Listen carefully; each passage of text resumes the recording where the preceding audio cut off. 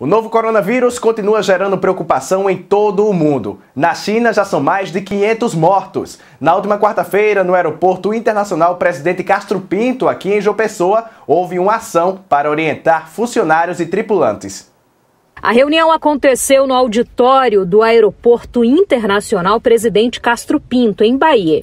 O objetivo dos órgãos de vigilância sanitária foi orientar funcionários e tripulantes do terminal para uma possível chegada do novo coronavírus que tem mobilizado o mundo. Nós, enquanto município de Bahia, nós é, estamos participando dessa reunião. Na verdade, a gente chama essa reunião de ombro a ombro, porque a gente está junto com a Anvisa, junto com a Secretaria Estadual de Saúde e a Infraero é, onde nós estamos dentro do protocolo de fluxo assistencial de medida protetiva da Secretaria Estadual de Saúde, colocando nossos, todos os serviços que temos hoje à disposição. Né? Nós temos a UPA, as unidades básicas. No Brasil, não há confirmação de casos, apenas suspeitas. Ainda assim, estão sendo realizadas ações em todo o território. A gerente executiva de Vigilância em Saúde do Estado, Talita Tavares, explica o que será feito caso alguma suspeita entre passageiros de aeronaves seja confirmada. A aeronave avisa a torre, a administração do aeroporto tem que acionar a Anvisa. É a Anvisa que passa para o estado e para o município.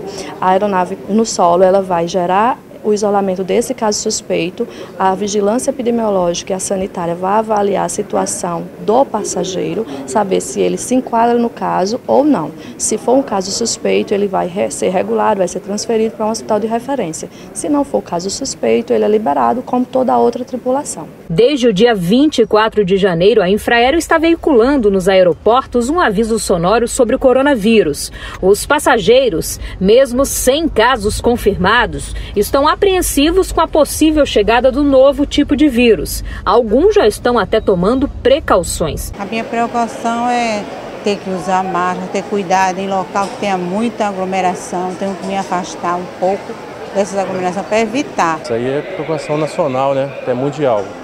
Nós temos que procurar sempre dar atenção. Eu acho que todos os governantes né, estão trabalhando com isso, né? Para poder proteger a população e a gente tem que fazer a nossa parte, né? Tá lavando as mãos, tomar os nossos cuidados. Nesta semana, o cruzeiro japonês, com mais de 3 mil passageiros, que está em quarentena, confirmou 10 novos casos da doença, subindo para 20 o número total. O novo coronavírus teve como epicentro a cidade de Wuhan, na China, e já deixou mais de 500 mortos no país. Outros 19 países já tiveram casos confirmados.